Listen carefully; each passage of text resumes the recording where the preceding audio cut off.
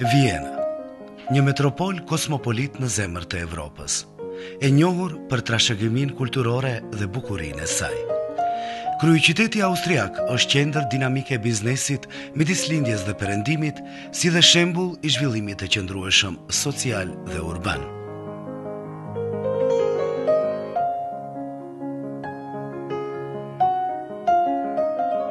Në Vjenë takon njerëz nga mbarë bota, të cilët kanë arritur në sfera të ndryshme, pa marrë parasysh kombin, racën, gjininë apo fenë. Këtu takojmë edhe një vajzushe gjeni, me të cilën para disa vitesh mburreshim të gjithë ne si një pianiste e vogël, e cila i rëmbente të gjitha çmimet e mëdha në gara kombëtare dhe ndërkombëtare.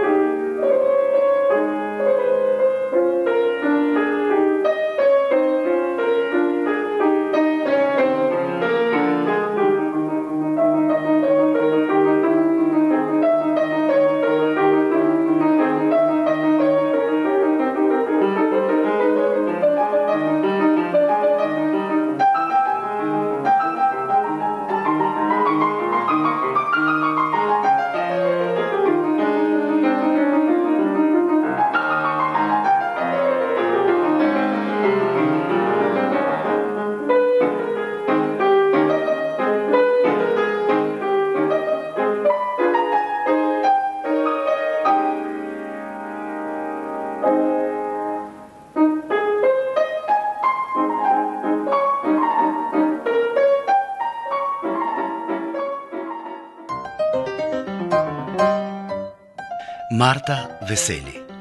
Një takim me shumë nostalgji dhe shumë i ngrohtë. Ajo me shumë dashamirësi fillimisht na njoftoi me Vienën, një qytet muze me plot histori. Më pas, me iniciativë tonën, Marta në mënyrë narrative flet për pianon,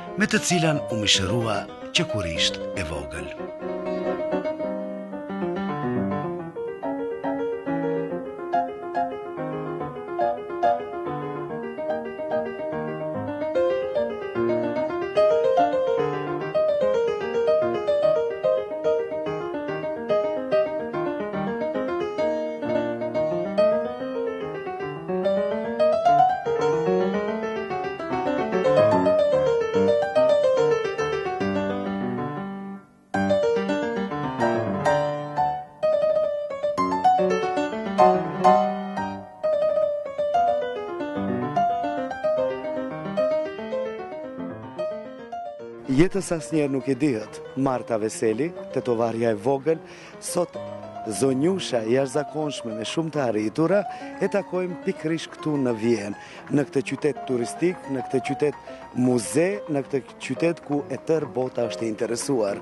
Bëjmë një xhiro të bukur Marta këtu dhe do të fillojmë gradualisht ngadalë, nga fëmijëria jote, nga ajo Marta e vogël, simpatike, e cila Shumë pak shpreheshte me fjalë sesa me tingujt e bukur të pianos.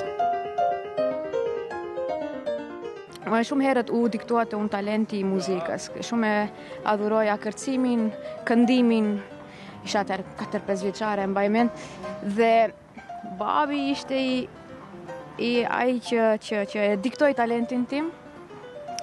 Edhe si sot e mbaj mend kur isha klasa e dytë, një ditë vjeshte ishte edhe më tha hip tha në veturë tha do shkojmë tha më një vend tha ta tregoj tha një vend dhe unë thashë ok tash ne të shohim se ku do të më çojë babi edhe më çoi në shkollën e muzikës fillore në Tetovë Aty atë ditë ishte një audicion ku nxënësit atëherë klasifikoheshin cilët ishin për piano, për violinë, për solo këndim, kështu me radhë. Të kujtohet kush ishte profesoresha? Si jo, profesor për mësuesja jeme e parë e muzikës ishte Simona në shkollën fillore. Dhe e di ti se, se, se Sevda, profesoresha Sevda, ajo ishte violina, se ajo deshte ajo të më marrë në klasën e saj, se më tha se tal, talenti im, im Qenka që më shumë që ishte më tepër për në violinë, për në violinë sesa për piano. Mirëpo, babi ishte atëherë ai që tha, tha, jo, tha më mirë, tha është piano, është më lehtë se violina. Um, Marta do shkojë në piano. Atëherë isha 8 vjeçare kur nisa me, me piano, domethënë. Po. Po. Babai yt ishte i entuziasmuar shumë. Po. Po. Ai bëri çmos, bëri gjithçka, të përcjellë ty gjatë gjithë atyre viteve që ti luaje në piano, shkoje në shkollë, shkoje në gara, sillje çmime ndërkombëtare. Po, um, unë e kam pasur përkrahjen e pamasë nga, nga të dy prindët, jo vetëm nga babi, edhe nga mami ishte ajo që që më përkrahi në çdo moment gjatë karrierës time të pianës të atëhershme, domethënë. Babai atëherë edhe e la edhe punën që të më që të jetë me mua gjatë udhëtimeve të mia në shtetet e huaja, gjatë shkollimit tim në Beograd, 5 vite me radhë, domethënë prej 94-ën deri me 99-ën. Ishe shumë e vogël? Isha shumë e vogël, domethënë prej moshës 10 vjeçare, deri në moshën 14 vjeçare.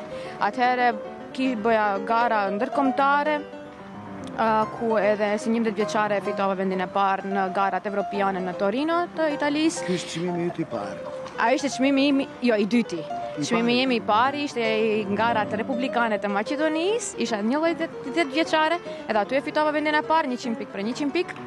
Bile mora edhe specijalna nagrada nga nga Republika e Maqedonisë.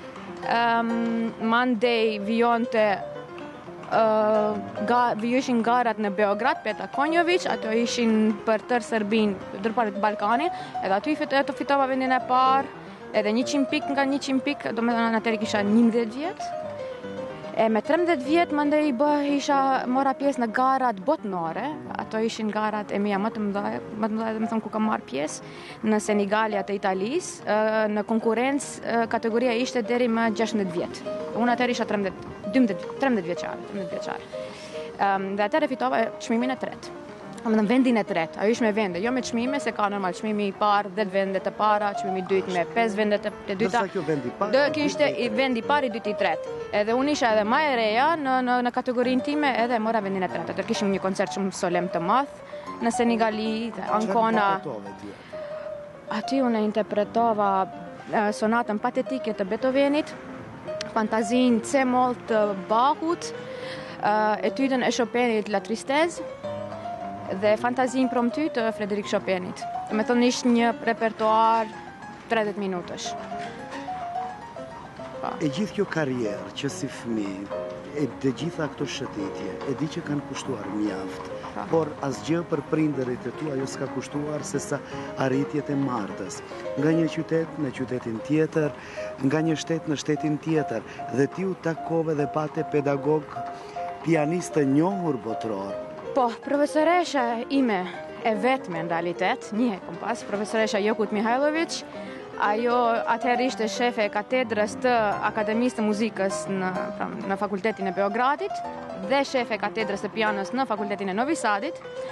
Um, ishte profesoresha ime e cila më përcjellte gjatë tanë karrierës time të atëhershme të pianos. Domethonë, ishte përherë me mua, edhe në Malajzi, në Kuala Lumpur, harrova ta ceki, pak më parë isha e ftume në kuadrën e Lions Klubit, ata i zgjodhën atëherë Pesë pianistët e rinj nga Evropa, pesë të ma talentumit, ishin dy nga Ukraina, një nga Gjermania, një, e, domethënë, unë nga Maqedonia, dhe morëm pjesë në Kuala Lumpur dhe Penang, domethënë, bënim, bënim turne, edhe në edhe koncertin tonë më të madh e mbaj mend e kishim në një sallë, në sallën më të madhe në Kuala Lumpur ku hyn ku nxente 5000 veta, domethënë, salla e koncertit, Jose Carrerasi e kish koncertin e kish mbajt një natë para nesh. Um, edhe sultani i atëhershëm i Kuala Lumpurit ishte në rendin e parë. Domethënë ishte për hir të sultanit.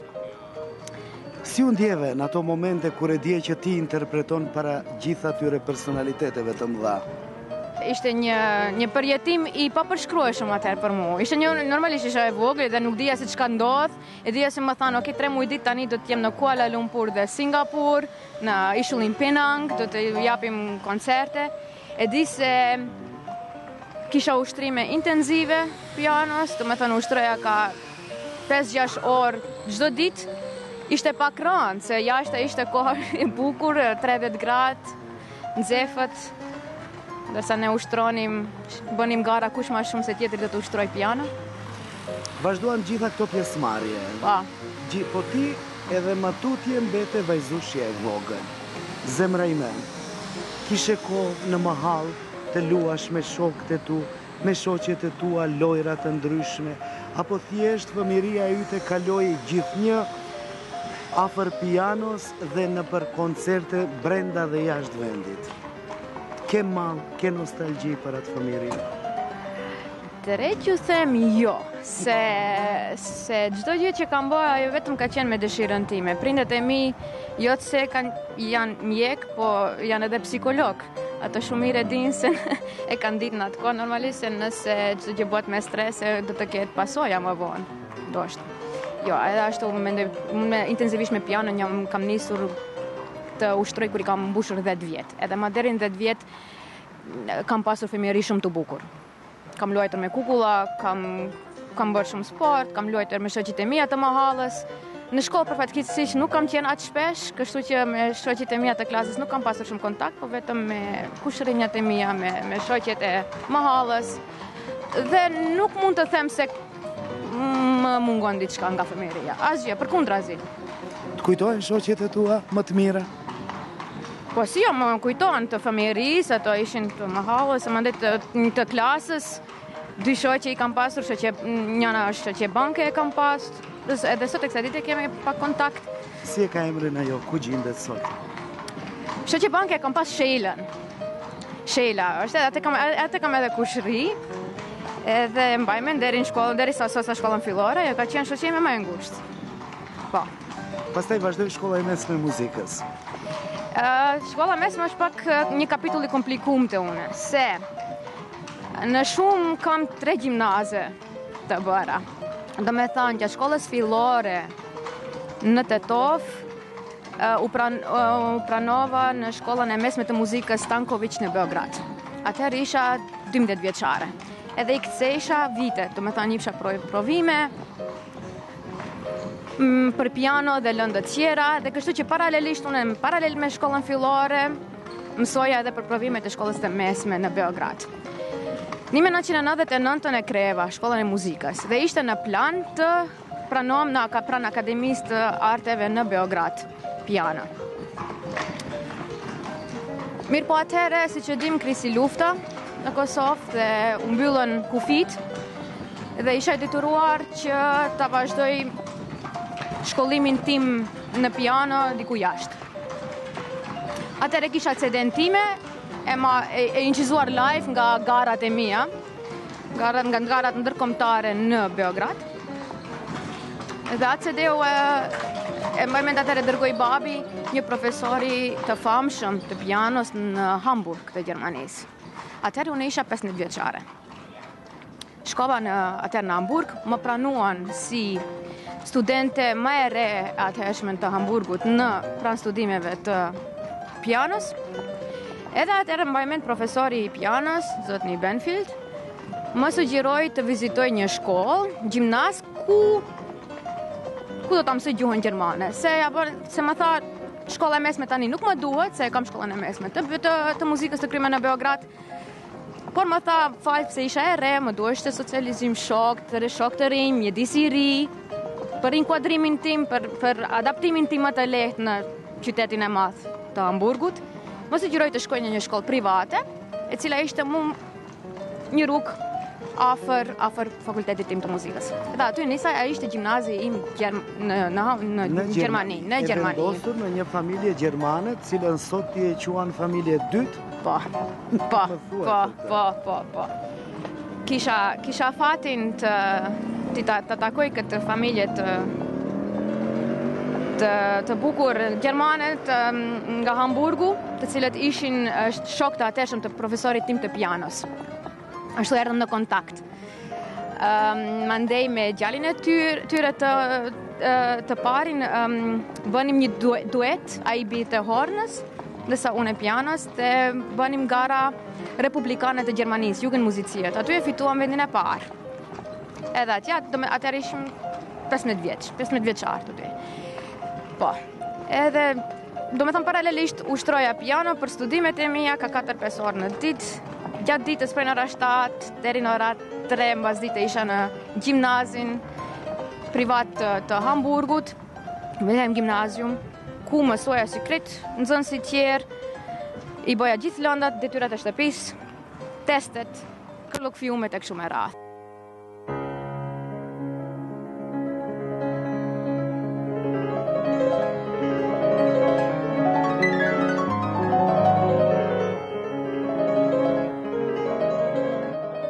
shkollën e mesme të, të Gjermanisë, nisa atëherë edhe e kisha shumë vështirë për, për shembull muajt e parë, se unë nuk dija asnjë fjalë gjermanisht.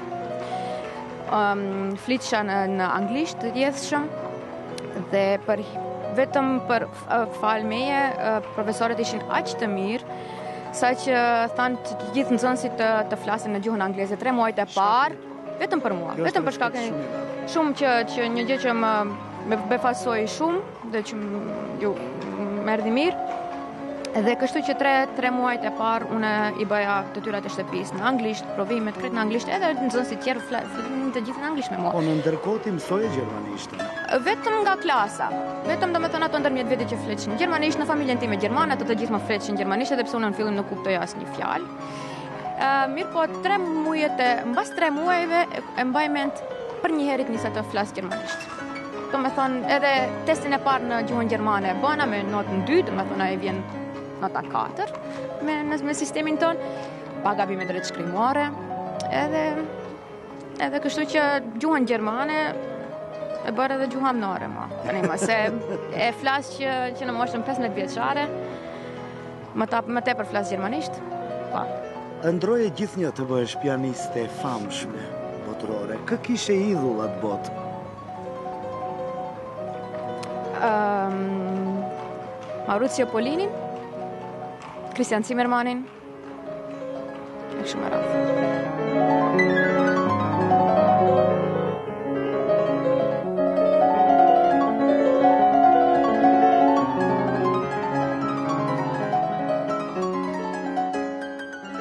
tre vite, domethënë gjashtë semestra i kryva në pranë fakultetit të Hamburgut, në klasën time të pianos dhe do ishte ta E kisha, e kisha atëherë në plan që ta sosi vitin e katërt në Vjenë, te pranë profesorit Paul Gulda, ku qysh më parë um, mirrsha pjesë në seminaret e tija të pianos këtu në Vjenë.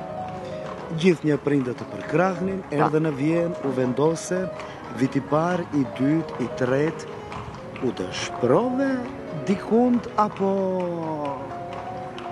Apo ishte një moment I çuditshëm, nuk do të thoja magjik. Shifni zotni, um, dikush secili e ka edhe një prirje për diçka.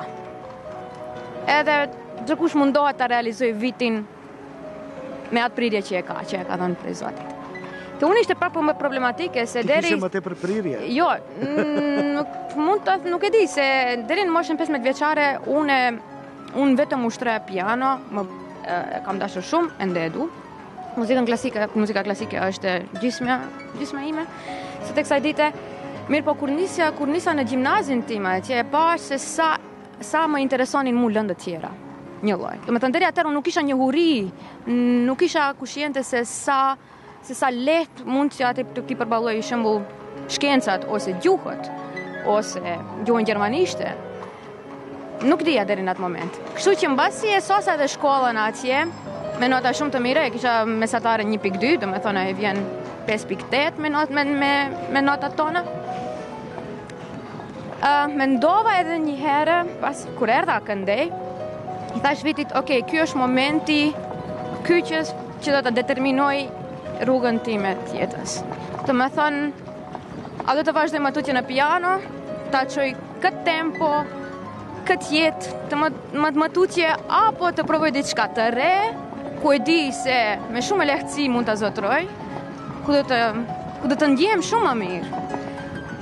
Se, secili, në, secili prej nesh e ka për qëllim normalisht ta bëjë atë profesion ku e ndjen kënaqësinë më të madhe, ku vjen më lehtë, ku mund ta realizojë veten më së miri. Është apo Dhe ti pikërisht mendove që në jurisprudencë do të ndjehesh më mirë. Po, jurisprudenca ka qenë çdo herë alternativa ime dhe atë e kam prej babit. Që do të thotë nuk është vetëm një moment ti që më herët ke menduar. Po, po, po, që nga klasa e 8, atëherë edhe në klasën e 8 bëra një pauzë nga pianoja, 6 muaj. Thash, ok, do do do të vazhdoj me me shkollë.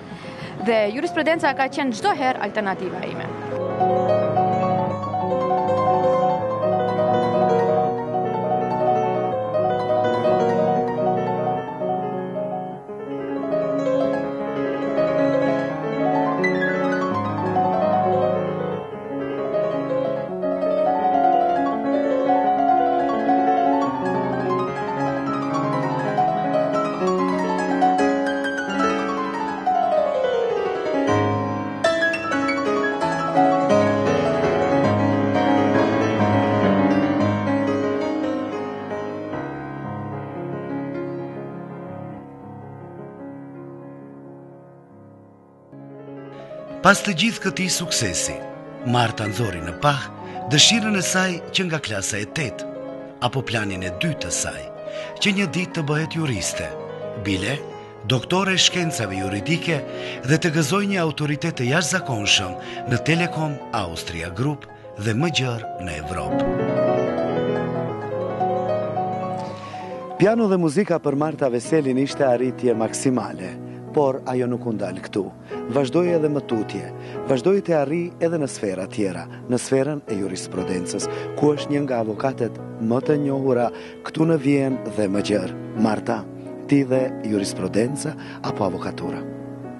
Po, Kjo epohë e re nisi në vitin 2003, kur erdha të vazhdoj vitin e 4 të muzikës në Vjenë, te profesori Paul Gulda, në Fakultetin e Muzikës të Vjenës, dhe aty ato muaj, aty ato muaj, Uh, ia parashtrova vetes pyetjen, thash, a, a është a është pianoja në realitet kjo rruga e artit, rruga në të cilën të kisha kënaqësinë më të madhe në jetën time.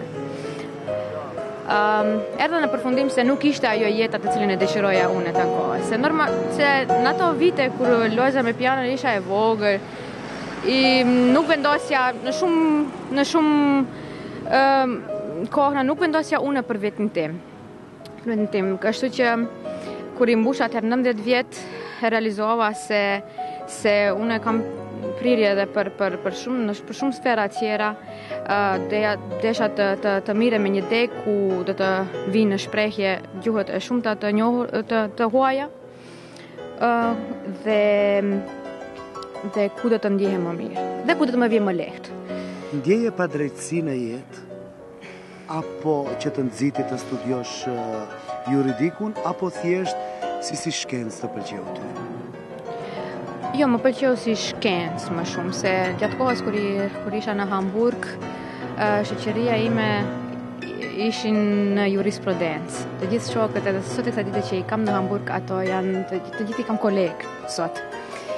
Edhe ishte një degë e cila përherë më ka tërhekur, edhe pasi që edhe gjermanishten e zotroja shumë mirë në atë kohë, mendoj edhe pse dy, jo vite, dy vite të plota, që që që flitsha në gjuhën gjermane dhe më erdhi si një si një challenge. Thash, do të nisi juridikun dhe të shohim se të ku se ku do të shkoj. Këtu në Vjenë, në cilin universitet? Këtu në Vjenë nisa në tetor, në Fakultetin Shtetëror të Vjenës, Juridikum. ë dhe e kreva para kohe për 3 vite me nota shumë të mira. Mandej vijonte doktorati. Ishte pak çudi dhe për profesorët vjenezë këtu një vajzë nga Tetova. Para kohe të mbarojë, të jetë diçka e veçantë, të jetë një një një një një studente si e rënë nga qielli. Po, edhe pse nga gjuha nuk më diktonin se jam e huaj, a do të të them, um, ishte normalisht deri në, në bas një provimi ku e mora dhjetëshe në, në, në, në, në drejtën tregtare, se sot e mbaj mend, atë profesori më pyeti, po tha, nga cili qytet tha jeni ju? Unë thash, mm, thash nga, nga Shkupit, në Shkup jam lindur e në realitet e Tetovës nga Maqedonia.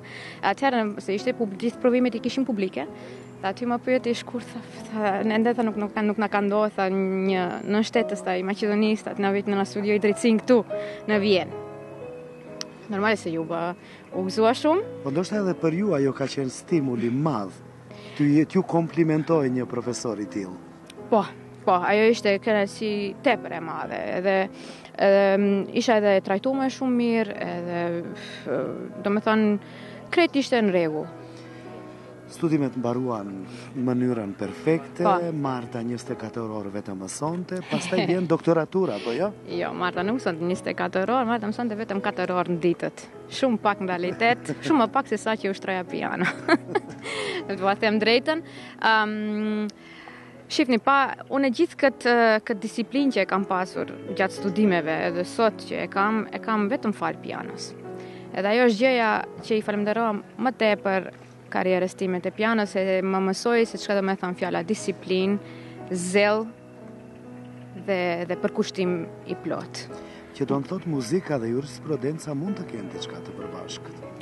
Unë mendoj se gjithë se gjithë fushat kanë elementar gjërat më të rëndësishme i kanë të përbashkëta.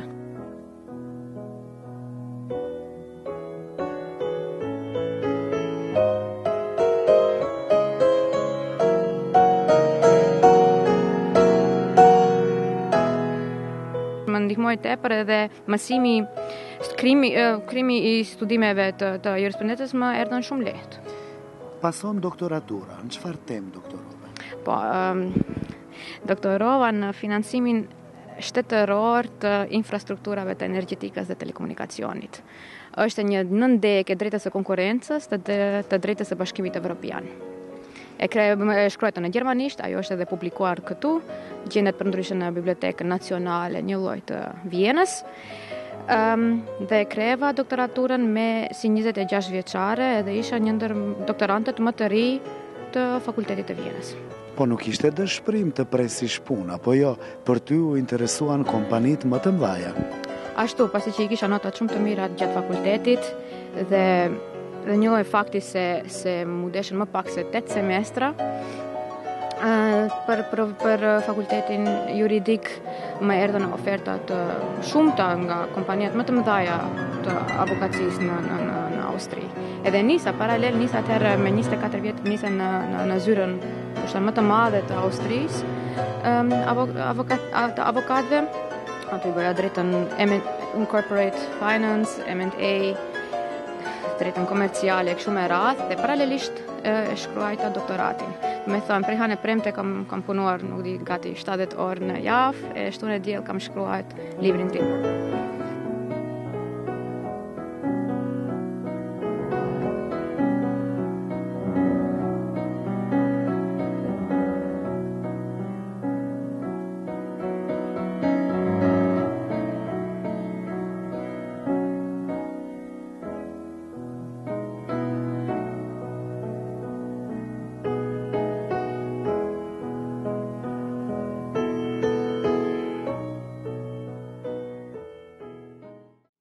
Te zyra e avokatit mbeta 3 vite dhe në ndërkohë më erdhi oferta e atëhershme nga nga Raiffeisen Bank dhe dhe, dhe Telekom Austria si dy kompani të cilat janë të kyqyra në në vendet tona, në vend në Evropën Juglindore. Ëm ehm, um, Telekom Austria po sigurisht më dha një një ofertë shumë interesante si juriste në departamentin legal Te, te Telekom Austria dhe isha mbikëqyrëse e e kompaniave tona që i kena në Sloveni, Kroaci, Serbi, Maqedoni dhe Bullgari.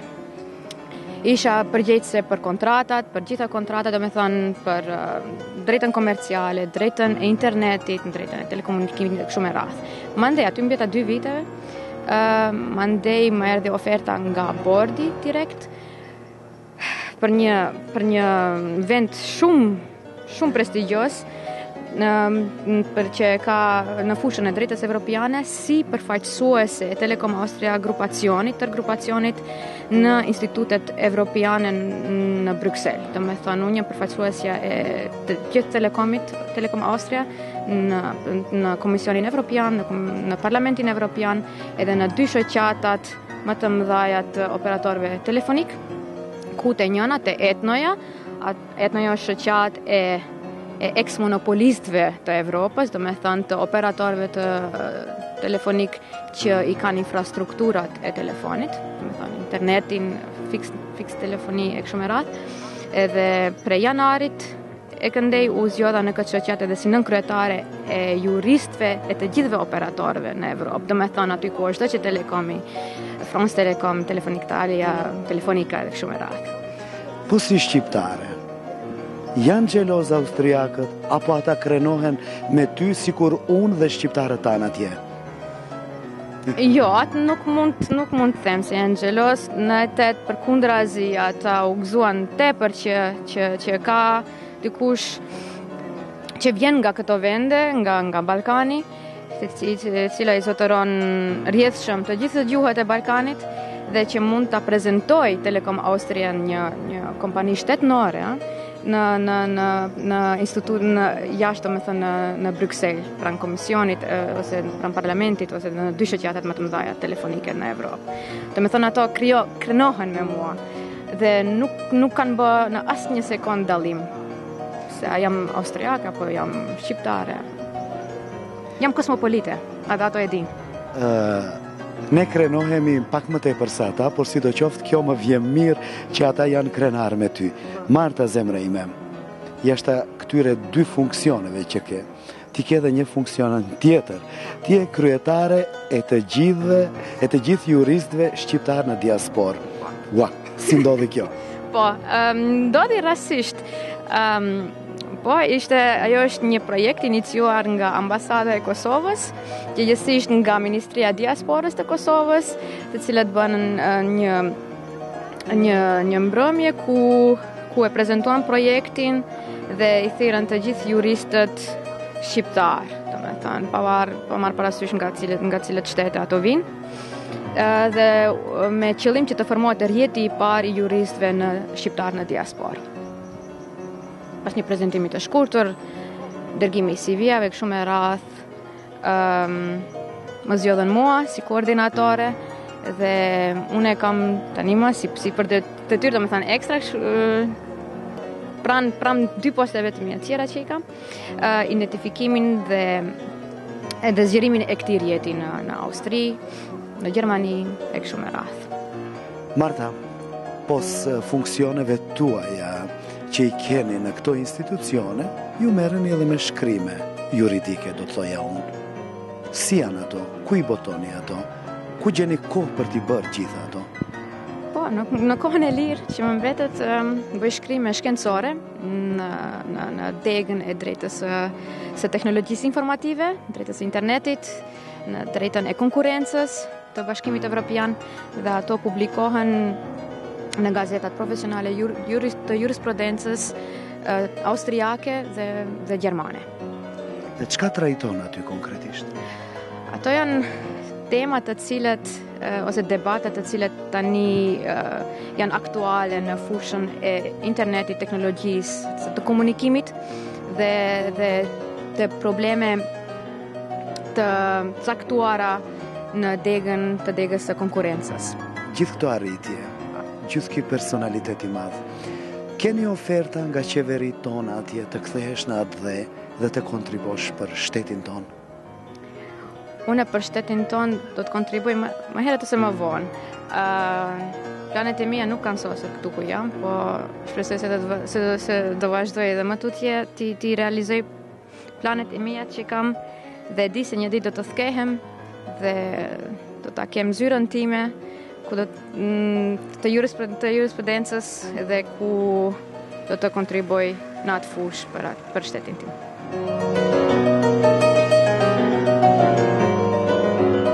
Të takosh personazhe si Marta Veseli në një metropol evropiane siç është Vjena, me të vërtetë ndjehesh krenar. Ajo thotë se ka edhe shumë plane të tjera të parealizuara, si në sferën e jurisprudencës, ashtu edhe në atë të muzikës, të cilën asnjëherë nuk e ka lënë pas dore, duke bërë koncerte para miqve, kolegëve dhe dashamirëve të tingujve të bukur të pianos së Martës.